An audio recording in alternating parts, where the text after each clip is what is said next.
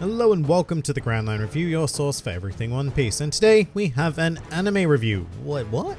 I thought I didn't do those anymore. Well, we can make an exception this time around, because despite the fact that it is technically called episode 907, what we actually have is an animated special of one of the one-shot prototypes for One Piece, being Romance Dawn version 2.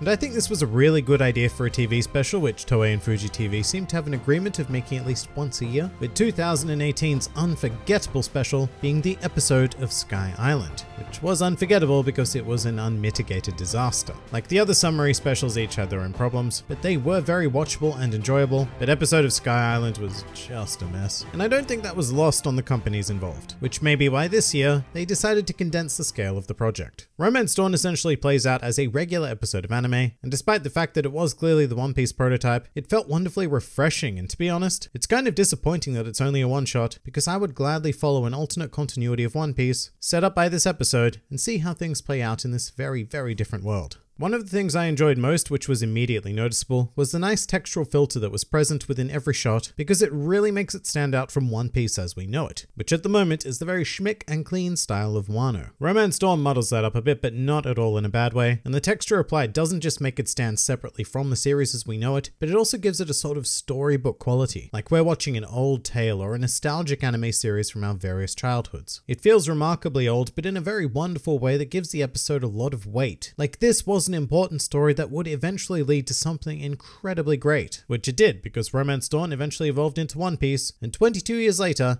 it's the world's number one best-selling comic by a single author, and the third highest-selling comic book in general. And it's nigh on impossible to remove that specter of greatness whilst watching Romance Dawn, because you can pick up on all of the little things that would go on to contribute to this, as well as some of the features that were probably quite wisely left out by Oda. In fact, one of the things that really struck me about Romance Dawn, even though I've read it before, is the idea that magic just exists in this world. That's probably the most radical departure from One Piece that this special offers, coming in the form of the Sorcerer Spiel, who I have to say was brilliant brilliantly portrayed by Cho, aka the voice of Brook. And years and years ago when I first read this, I never would have imagined Spiel having such a voice, but Cho gives this guy that hint of flair that his design really demands, while also managing to retain an aura of dangerousness. And it's really nice to see those Brookish qualities applied to a villainous presence. Although it is admittedly weird to see his voice coming out of a face that is actually capable of moving. But I've gotten distracted here, I think. What was I talking about? Magic! That's what I was talking about. In any case, seeing it in play here, I am incredibly thrilled that that aspect never translated into One Piece as we know it now. Because while it was kind of cool here, I think it would have been pretty boring in the long term compared to the intricate system of devil fruits that was set up, where traditionally magical powers would only emanate as a result of one thing. I mean, maybe if Romance Dawn had been used for One Piece, then Spiel's powers would have later been revealed to be fruit related, but uh.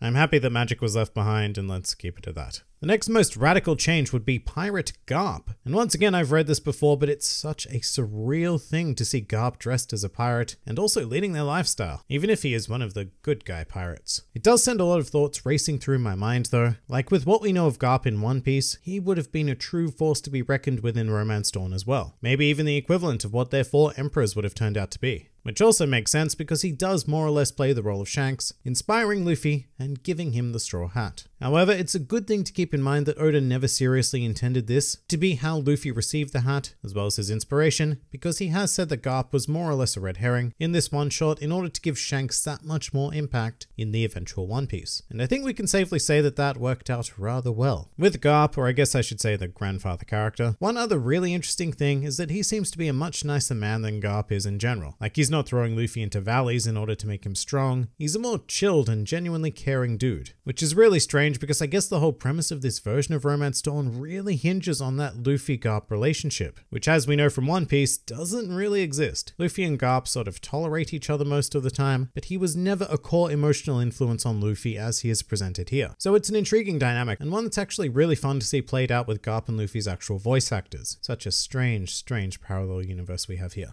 Much of Romance Dawn really did feel like One Piece Light though. A lot of elements were there, but they hadn't been arranged and portrayed in a way that really gives you that emotional oomph. Like the first time Luffy says that his hat is his treasure in One Piece is such a powerful statement, because we know the sacrifice Shanks had made to entrust it to the next generation. Whereas in Romance Dawn it still hits, but more so because the hat is a family heirloom, so the inherited will aspect is still there, but it's very subdued. Probably my favorite thing to come out of Romance Dawn though, has always been the character of Balloon. Pandas are my favorite favorite animal in the entire world, so incorporating them into anything will always result in a big thumbs up from me, and I think that Kappei Yamaguchi, aka Usopp, was a great choice for his various noises. We also had the Nami prototype of Anne though, and she was pretty much as expected. She's a much more innocent version of Nami, but she also kicks some serious ass in this special. It was really cool to see her in combat, but it left me with this overwhelming desire to see Nami in actual combat again. Not just like wielding the Clima-Tact and shocking people, but actually fighting because we know that she can do it to some degree. Oda just sort of refuses to give her any decent action anymore. So what Romance Dawn ends up being is also a nice flashback to a time when Oda was not afraid to put his female characters in harm's way. I mean, Anne was even shot, which is pretty brutal by modern standards.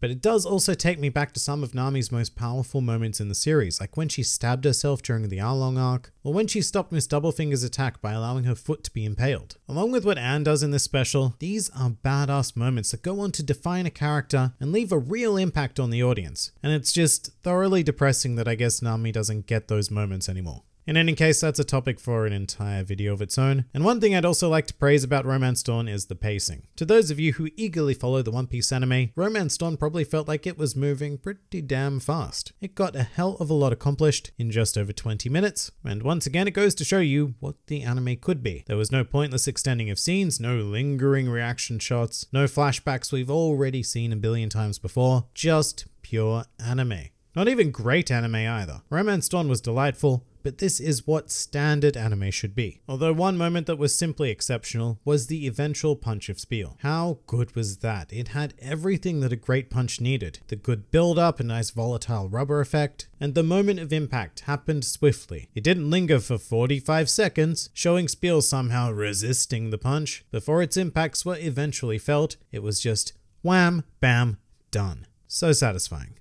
And that wham bam done kind of sums up this special. In essence, this was a really enjoyable piece of media and something that I think Toei and Fuji TV should invest in more, like potentially adapting the other Oda one shots, or maybe even doing their own original alternate continuity of weird stuff like they used to do with the Boss Luffy specials. They're just a nice break from a mammoth series that takes forever and ever to get anywhere in the anime, and I think that stuff like this could actually be very needed going forward in Wano. I mean, Wano is just such a mega arc, and there aren't going to be times where the anime will seem like it it practically isn't moving at all. Locations and characters will get very stale if things continue as it's currently moving. And you know what? A completely unrelated episode of something or other here and there that retains the charm of One Piece and can act as its own filler is most certainly welcome, to me anyway.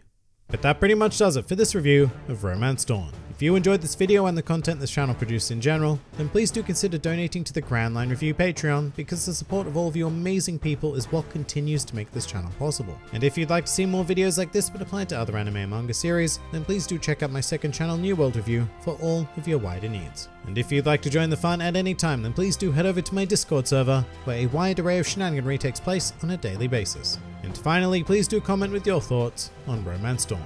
This has been the Grand Line Review, and I'll see you next time.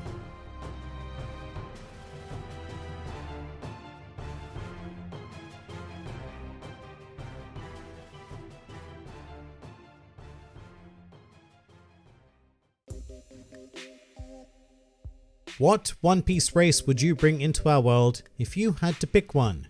No humans or unintelligent creatures. Well, look, does the Southbird count as an unintelligent creature? I personally don't think so. But we have a fairly easy question here because if we're talking about races as I suspect this commenter means it, then it has to be the Minks. If only for the fact that we could have adorable polar bears integrated into our society. Although it does raise some potential problems with the whole Sulong thing, so it would be kind of like inviting a race of werewolves to come and live in society. Steps would need to be taken to ensure that they don't go on a rampage. Still, is it worth it for the polar bears? I think so. Do you plan on doing a vid with anyone? Maybe Tekking?